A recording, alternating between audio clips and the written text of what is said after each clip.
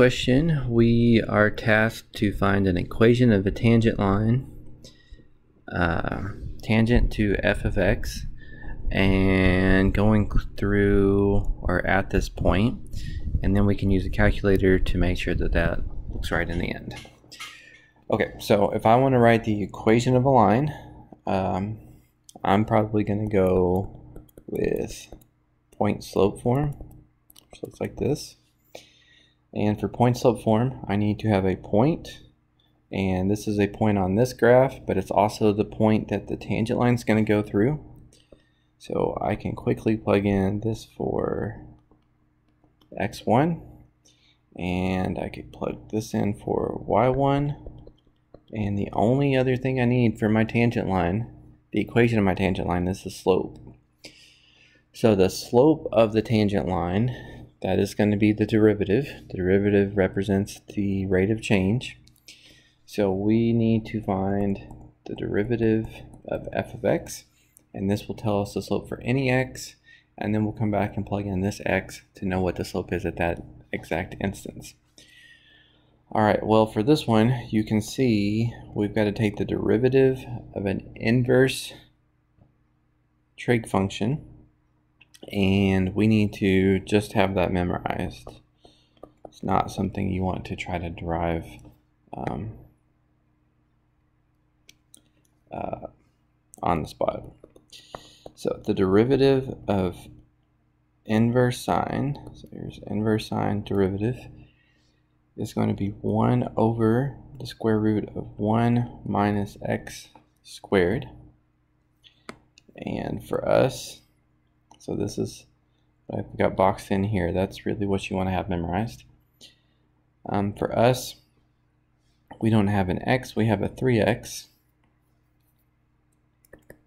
So inverse sine of 3x, derivative of that is going to be plugging in 3x.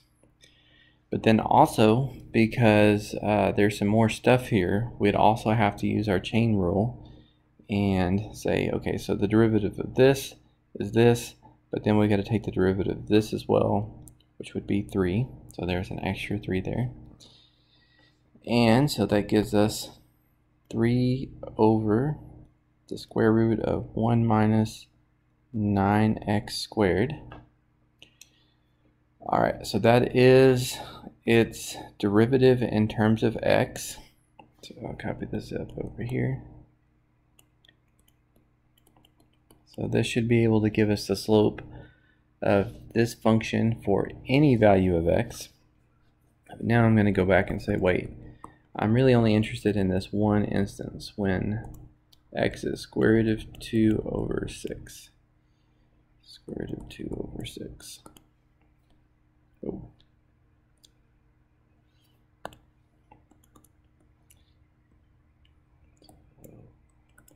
9 square root of 2 over 6 squared. Okay, so let's go ahead and um, clean this up a bit and then we can plug that in since this is supposed to be our slope of our line um, that should be our equation and then we can use our calculator to graph and make sure it all looks good. Alright, so I've got 3 over the square root of 1 minus 9 times, well if I square this, this would be like the square root of 2 over 6 times the square root of 2 over 6, which would be 2 over 36, or 1 over 18. We reduce. And then multiply 9 times 1 over 18, this 9 and this 18, timesing by 9 divided by 18, could reduce. And now I can say 1 minus a half would be a half. And taking the square root of a fraction is the same as taking the square root of the numerator, which would be 1, over taking the square root of the denominator, which would be 2. And instead of dividing by 1 over the square root of 2, I'm going to think of this as 3 times the reciprocal. So there's the slope of this line at that x value. So now if I go all the way back up here, plug that in, 3 square root of 2, um, there's, there is our equation of our tangent line. Now we're also going to check this with the calculator. So we can graph this in the calculator, we can graph this in the calculator, um, and make sure that uh, it, it, does look like a tangent line and that it is going through this correct point. But in our calculator, it's going to be one to solve for y equals. So I'm going to go ahead and add this over. By the way, you could also distribute this and combine some like terms. If you wanted to do that, you could um, get it in slope intercept form if, if you prefer that form. Alright, to finish up our checking here, um, the textbook suggests that we graph it and make sure that it looks correct. So you can see I'm going to graph the inverse of sine of 3 of x. And I'm going to graph what I think the equation of the tangent line is. See, I have both those typed in. And there's a good chance that it's going to be very, very hard to see. Uh, so we need to play with our window settings a bit.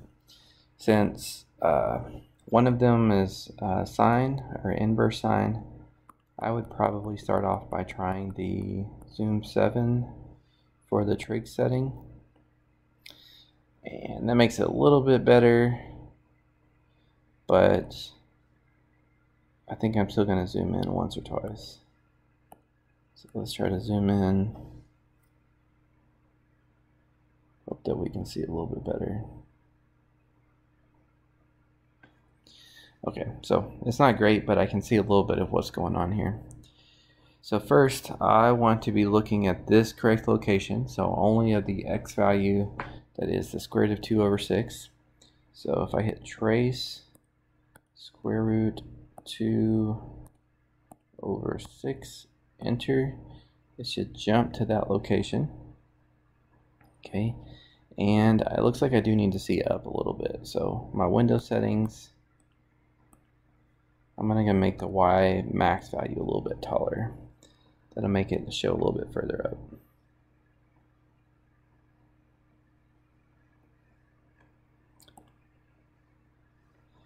Okay, so let's jump back to that point. Alright, so here is the point that I wanted to find the tangent line of, and this is kind of hard to see here, but here's my inverse sine of 3x. And so right in here, this does look like a good tangent line. This might be too much, but let's try to zoom in at that point. So there's inverse sine of 3x.